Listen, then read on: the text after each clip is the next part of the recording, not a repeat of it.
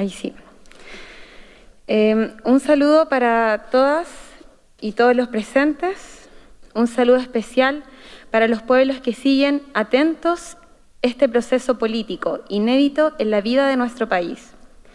Soy Ivana Olivares Miranda, constituyente de la región de Coquimbo. Soy hija de Janet Miranda y Germán Olivares. También soy hija de la unión del cielo con la tierra, madre de un hermoso hijo, Amaru, hermana de Carla y Camila, tía de Baltasar. Vivo en El Boldo, un campo ubicado en la comuna de Salamanca, al interior de la provincia del Choapa. Con mis amigas y amigos de Modatima Choapa y luego, y luego con el movimiento territorial constituyente, compuesto de agrupaciones del Quilimarí Choapa y la lista del pueblo, nos desafiamos a levantar una lista independiente, buscando representar a nuestro pueblo en la convención. En mi caso, resulté electa con la primera mayoría regional, una votación histórica para una candidatura que provenía justamente de una provincia alejada del centro político de la región de Coquimbo, históricamente excluida de la representación política y de la toma de decisiones. La región de Coquimbo se constituye de las cuencas de El Quilimarí y Choapa. Son los valles transversales del norte chico, recorridos por los sagrados ríos que los nombran. Valles verdes que son para Chile la última barrera ecológica que contiene el avance de la desertificación. Somos un pueblo que cohabitamos y vivimos gracias a las cuencas. Somos una comunidad política y un territorio. Somos cordillera, somos ríos, somos mar. Y sin embargo, no tenemos derecho a gobernarnos, a cuidarnos, a proteger nuestra tierra, porque el actual diseño político-administrativo nos tiene sometidos primero al centralismo de Santiago y después al centralismo de las regiones.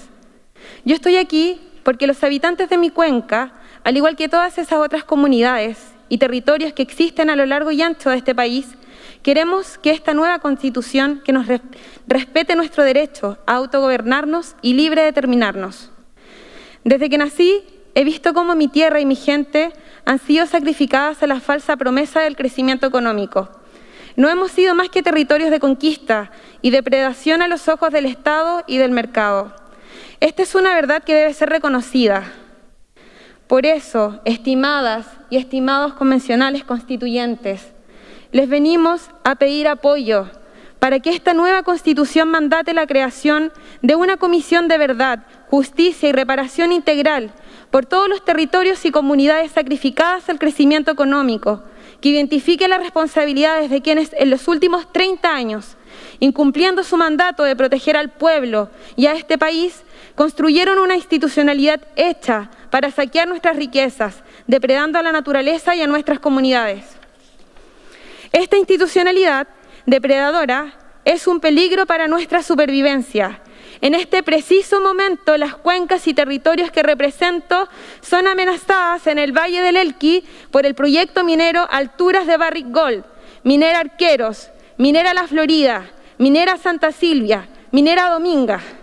En el Valle del Limarí, por el Paso La Chapetona y el proyecto minero Tambo de Oro. En el Valle del Choapa, Proyecto de adaptación operacional de Minera Los Pelambres, Minera El Espino de Pucobre, Codelco División Choapa, Proyecto Anemona 1 de Antofagasta Minerals, Proyecto Centella. Estos proyectos son una amenaza latente y quieren desarrollarse y amarrarse antes de que esta nueva constitución cambie las reglas del sucio juego que nos han impuesto. Por esta razón, les pido, por favor, nuevamente que nos unamos para incorporar una norma constitucional que detenga la aprobación de todos los proyectos de impacto ambiental hasta que no se cree la institucionalidad protectora del medio ambiente que ordene la nueva Constitución.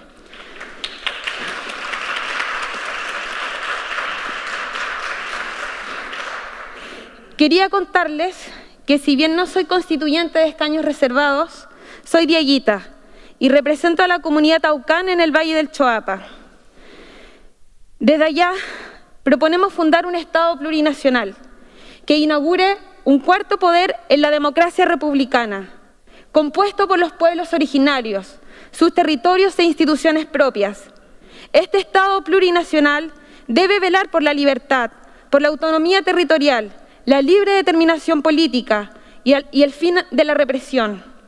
Estos elementos son condiciones para la no extinción de los pueblos originarios y han sido reconocidos por el Sistema Interamericano de Derechos Humanos.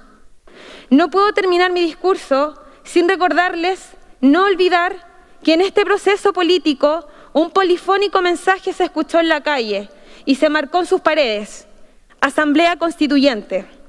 La Convención Constitucional abre un punto de inflexión en la historia de Chile.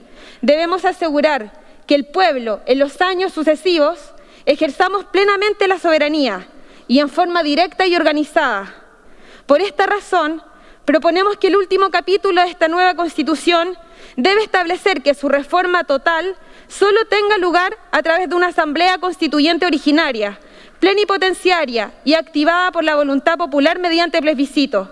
Solo así lograremos darle continuidad política a este proceso, con una democracia sana, que resguarde el porvenir de todas las formas de vida, de las generaciones que crecen y las generaciones que vendrán. Muchas gracias.